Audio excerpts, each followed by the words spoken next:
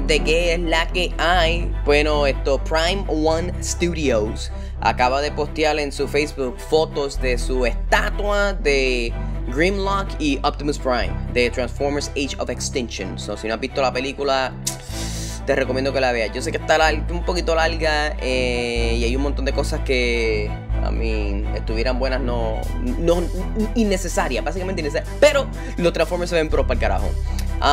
El, hay dos versiones. Está la versión de Grimlock solo y está la versión de Grimlock con, el, con Optimus Prime. El Optimus Prime es articulado. No sé cuán articulado, cuánta, cuánta articulación tenga, pero sé que es articulado.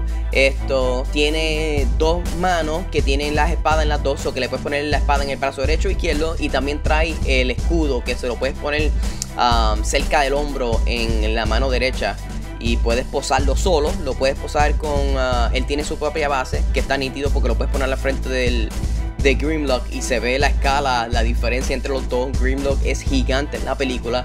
Así que me gusta eso. O lo puedes poner como si fuera un caballo, ya tú sabes. Allí el condenado Optimus Prime encima de, del Grimlock. El Grimlock tiene luces y se ve nítido.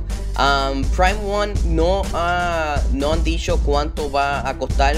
Se, me imagino que va a ser cara. Tiene que estar en los miles de pesos americanos y esto cuándo es que sale para preordenar. Así que estamos esperando esa información. Me imagino que cuando salga se las dejaré saber. Pero el Optimus Prime se ve caballo, caballote. Me encanta la versión esta de Optimus Prime en esta película, mano. Tremenda, se ve pro el carajo. Me encanta. Pero anyway, era para dejarle saber eso. Ah, también trae una, una placa del logo de los Autobots que tiene una luz atrás. Se ve bastante chilling.